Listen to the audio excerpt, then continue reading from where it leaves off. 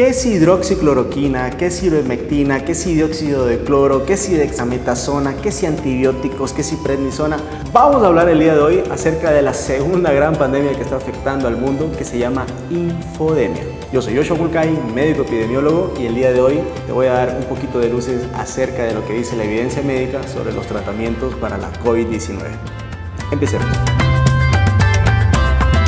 Durante todo este año que ya hemos obtenido varias información acerca de la COVID-19, hemos visto cómo todos los tratamientos que inicialmente empezaron a utilizarse se han ido descartando poco a poco. Por ejemplo, a inicios de la pandemia, muchos habló acerca de la acitromicina y de la hidroxicloroquina, medicamentos que por supuesto, el primero es un antibiótico y el segundo es un antipalúdico. Esos medicamentos se empezaron a utilizar de forma irracional. Irracional.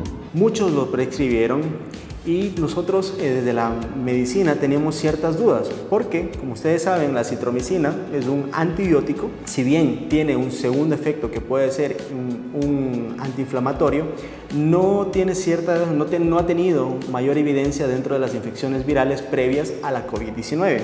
Y asimismo, la hidroxicloroquina, que se pensaba que mediante proceso de cortar inflamación podría ayudar en la COVID-19, un estudio realizado y publicado por la New England eh, of Medicine nos dice que la utilización de acitromicina para la COVID-19 no tiene mayor efecto.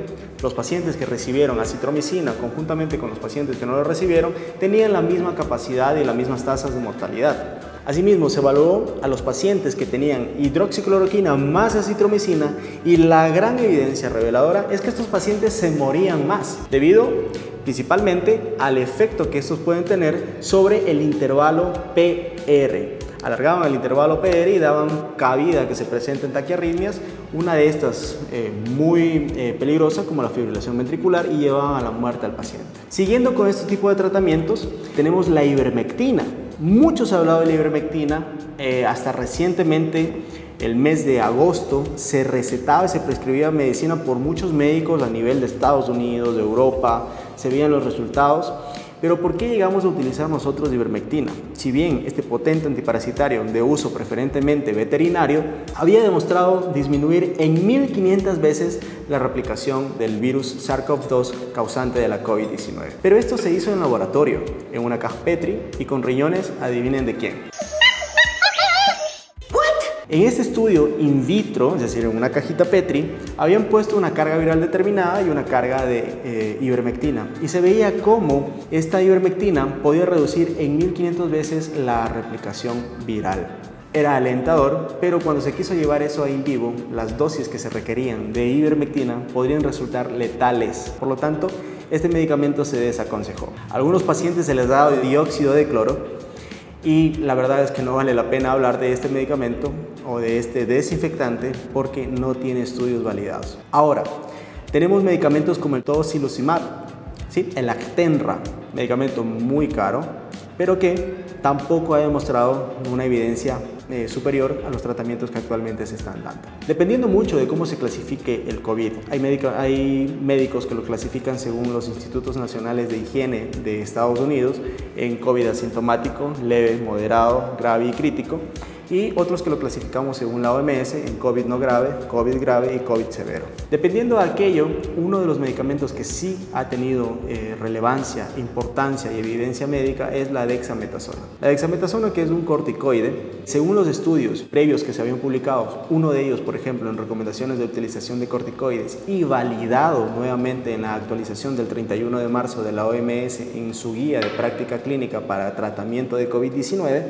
nos dice que la dexametasona ha demostrado que en un periodo de 28 días de internación es mucho más beneficiosa para aquellos pacientes que, ojo, tienen un COVID severo o de COVID eh, crítico, dar dexametasona sería mucho más beneficioso que no darla en comparación a aquellos pacientes que son COVID grave, COVID crítico y son aquellos que requieren oxigenación o una unidad de cuidados intensivos para intubación y ventilación mecánica. Y por supuesto, la oxigenoterapia. La oxigenoterapia es fundamental. Si mi paciente necesita oxígeno, lo que debo darle es oxígeno, sin importar si está en una casa de salud o fuera de una casa de salud. Esto se critica mucho, es muy criticado porque el paciente que requiere ya oxígeno muy probablemente requiere un tratamiento mucho más especializado.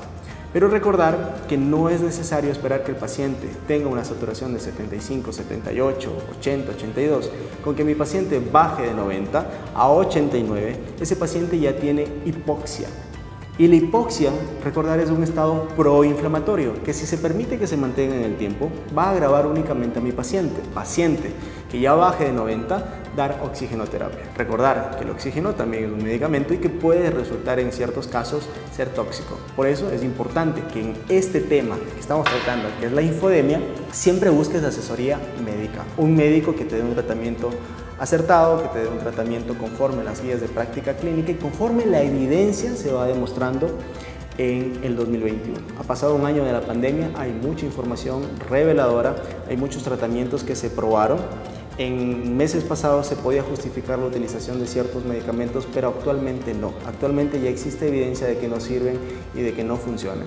Deja de estarte tomando dióxido de cloro, deja de estarte automedicando, busca un profesional de la salud y recuerda, si tienes un COVID leve, muy probablemente lo que vas a necesitar es hidratación, paracetamol. Solamente cuando tengas un COVID severo, entonces ahí sí ya necesitarías otro tipo de medicación, pero que es de prescripción netamente de tu médico. Recuerda, ayuda a compartir este tipo de información para que la gente deje de automedicarse. Una de las pandemias más fuertes que ha sufrido nuestro país es la sobremedicación de pacientes que se ha llevado ya a muchísima gente por los efectos secundarios que esta provoca. Yo soy Joshua Kulkai, médico epidemiólogo, estos son mis contactos, estoy para servirte y cualquier información que necesites, recuerda, visita a tu médico. Chao.